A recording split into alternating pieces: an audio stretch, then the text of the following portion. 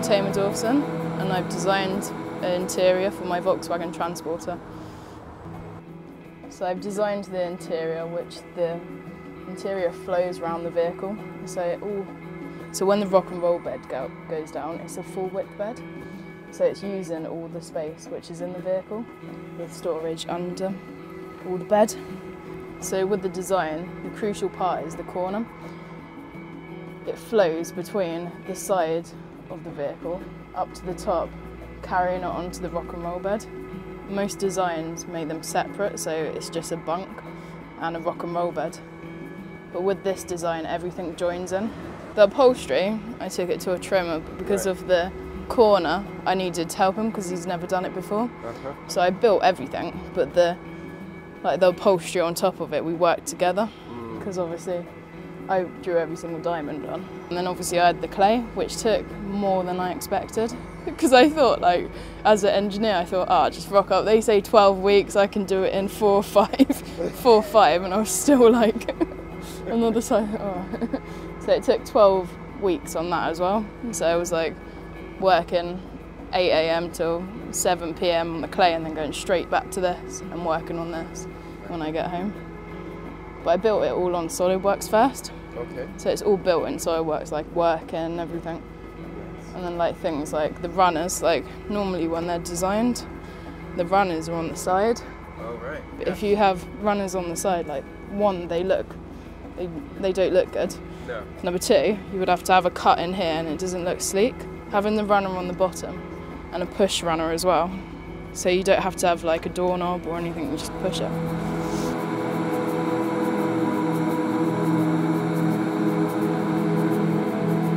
Hi guys, my name is Paige Han and um, for my major project I decided to do the Ford Capri Mark IV as I owned the third generation, the Mark III um, and I decided to do my own um, idea of how it would look like in a modern design to give a rebirth of the European version of a muscle car.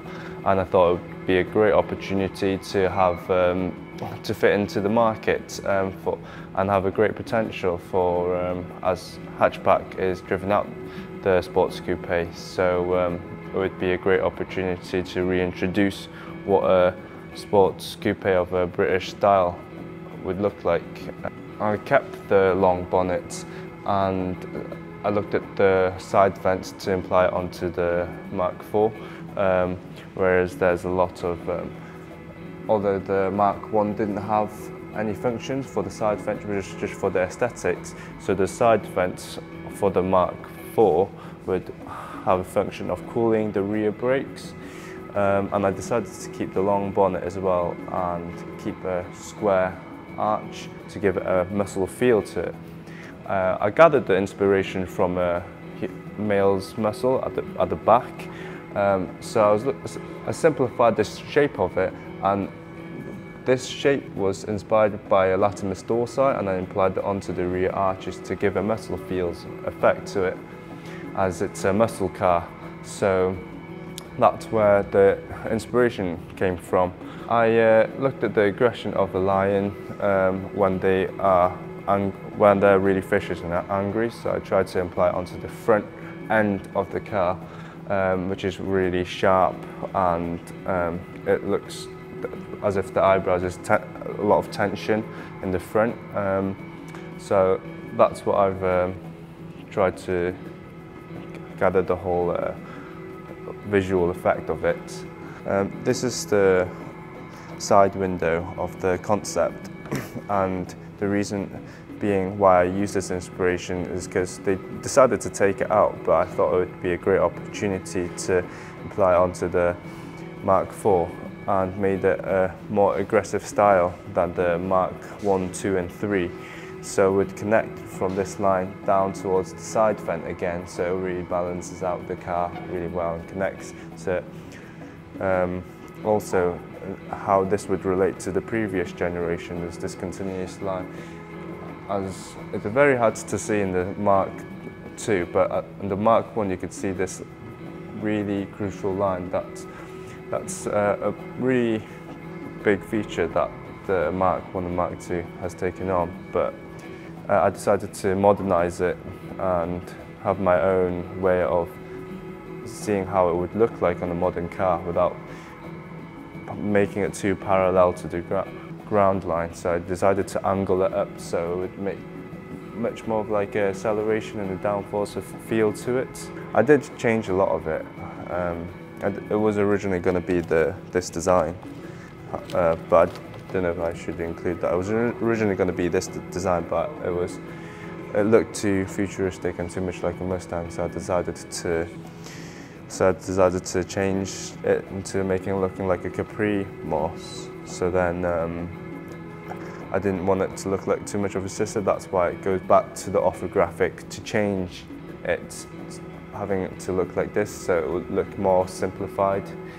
Um, so also, it would be against the whole British um, heritage and culture of it if, if it was too conceptual.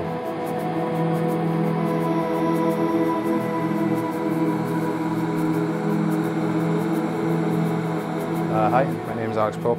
Uh, this is my project. Uh, it's a collaboration within design of uh, Sunseeker and the RNLI. Um, this project is named uh, after my friend and colleague uh, Dominic Newton, uh, with his nickname being Jed. Uh, I've called the vessel uh, Jed in his honour.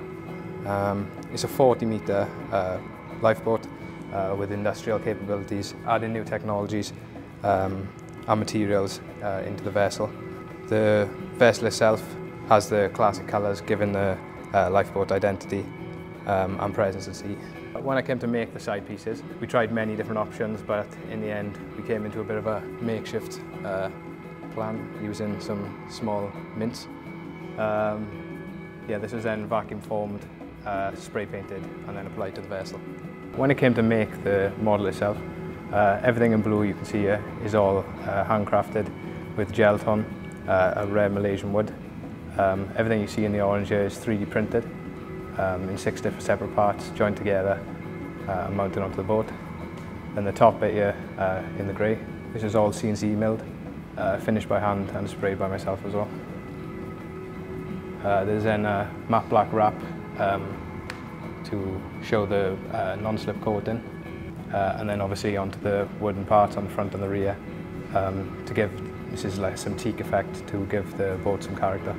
So the reason I went for the RNLI is I feel it's the forgotten emergency service. It's non-government funded and it's something that's not in the public eye anymore. You have the police, the ambulance and the fire service, uh, all recognisable on a daily basis and the lifeboat is completely forgotten.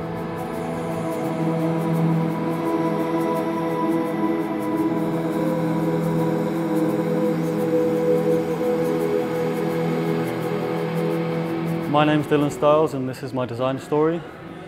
It's based on the idea of Volvo's Vision 2020 ethos where no driver should be killed or seriously injured after the date of 2020.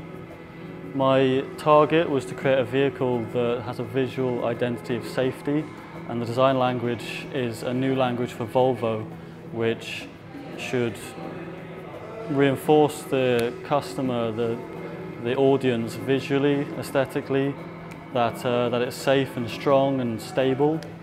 Uh, as you can see, the main influence is a uh, cocoon, and um, this is because I want the driver to feel cocooned within the vehicle.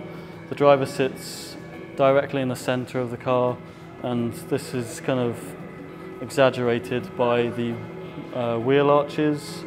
Uh, the peaks of the arches aim in towards the center of the vehicle, and this all kind of helps create this wraparound effect. I've got some DNA such as cheekbones. Uh, this vertical feature relates to a Scandinavian architecture which uh, the Swedish car companies very proud of their heritage and a light catcher that wraps around the whole vehicle which sets it on the ground and makes it look very planted and stable. Nature was a large part of the influence and the inspiration to my design. Uh, as you can see, I've used the gorilla and rhino as well as a lion to uh, kind of reflect uh, strength from nature. Uh, the gorilla's shoulder, uh, the stature and the, the stance the gorilla has, I really wanted to capture the strength and stability that it has when it immediately comes across to you when you see the creature. As well as this, the shoulder line of the vehicle comes across uh, and it reflects the rhino's silhouette and the, the sharp uh, angular kind of silhouette at the back of the rhino. From the lion I've also drawn inspiration. The chiseled face of the lion it relates to a, a stone kind of strong, perfect form that, that looks natural and honest, which I believe makes the vehicle seem more safe.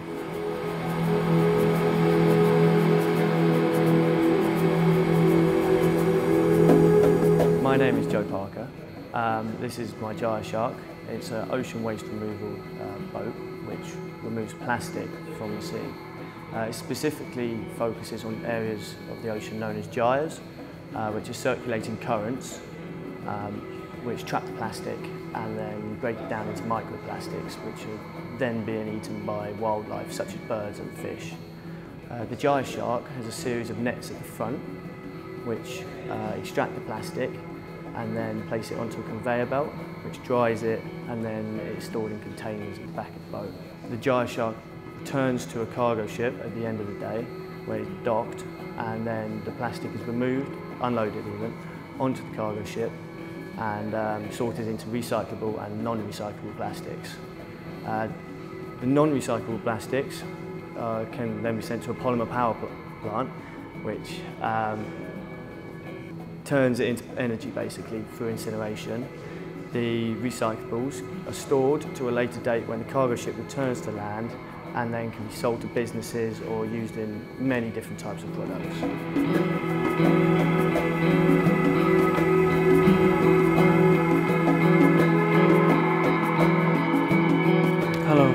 Name's Adam Maggs and this is my unconventional modern Morgan. Uh, it's an all-electric, all-wheel drive uh, competitor for the American sedan market. I've chosen Morgan because as a kid I used to love the classic styling of the classical Morgan shape. Some unique elements of my design include the strong shoulder line that is uh, very common in all Morgans, past and present. The accentuated front and rear arches, where again, a lot of Morgans contain very bold, strong arches. The grille is elongated and sort of narrowed in uh, height uh, to fit the modern competitors of the Morgan segment that I'm aiming for. The roofline contains a slide-in uh, section which slides down above the rear passengers and offers utmost luxury for the executives in the rear.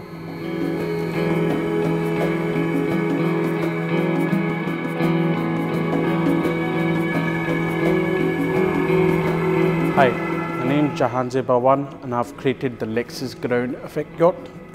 For my third year project, I wanted to create a design of a yacht that could hover and uh, the proposal that I had picked was to create uh, a yacht that, that could fly and um, what I've chosen is the Ekranoplan uh, proposal. Wanted to use the same principle as an Ekranoplan but with having a twist to it with a yacht aesthetic design. And for my project, this is what I've done. The colours that I've picked is British Racing Green colour with white, and um, is creating a new class of sea travel, and at the same time trying to overcome motion sickness as well. So I really enjoyed my project, and uh, I think I've managed to create something unique. It's inspired by Lexus. Lexus uh, ethos is creating something amazing and I think this kind of fits into this because it's new, unique and uh, the ethos is amazing.